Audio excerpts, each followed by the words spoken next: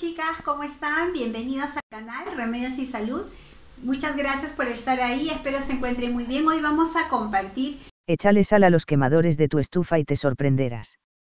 Cuando hablamos de limpieza del hogar, uno de los temas más importantes que debes de considerar es el de tener un área en la que cocinas completamente limpia.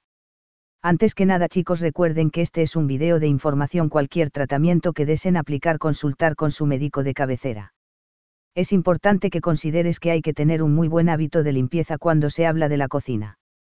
Y es que en este lugar sucede toda la magia cuando hablamos de una correcta alimentación. Si tienes problemas con quemadores que tienen demasiada grasa o que ya están muy manchados, lo más recomendable es que les pongas un poco de este mineral común que es muy útil a la hora de cocinar. Pero, también al momento de limpiar. Para llevar a cabo el truco vas a necesitar materiales. Sal agua. Vinagre blanco. Bicarbonato de sodio. Jabón lavaplatos. Paso a paso. Pon a calentar agua en un recipiente, al menos dos tazas. Agrega dos cucharadas soperas de sal, mezcla muy bien. Deja el agua hervir.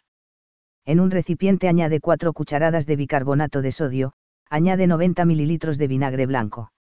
Agrega cuatro cucharadas de jabón lavaplatos, mezcla bien para incorporar. Añade el agua hirviendo con la sal y sumerge los quemadores de la estufa en el recipiente durante 15 minutos.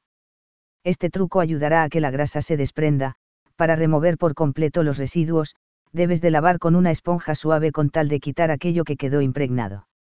Ahora ya sabes que echar sal a los quemadores de tu estufa ayudará a tener un área limpia y desinfectada, lo mejor es hacerlo al menos una vez cada 15 días. Pruébalo y me comentas. Bueno chicas chicos espero que sea de gran ayuda este video de información. Suscríbanse al canal y activa la campanita y recuerda siempre compartir y comentar. Siglo 1 conocen alguna receta o remedio casero compártanlo. Gracias chicas.